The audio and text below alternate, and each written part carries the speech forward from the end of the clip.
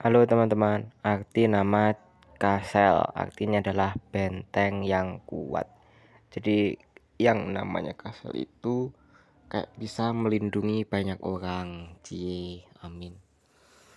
Teman-teman yang suka dengan telur setengah mateng, komen ya tempat atau rumah kalian di mana. Kita doakan apa teman-teman semuanya yang lagi kurang enak badan segera sehat selalu dan lancar rezekinya. Amin ya robbal alamin. Mohon maaf lahir dan batin. Lanjutnya musik ya teman-teman ya. Tulis nama anak kalian ya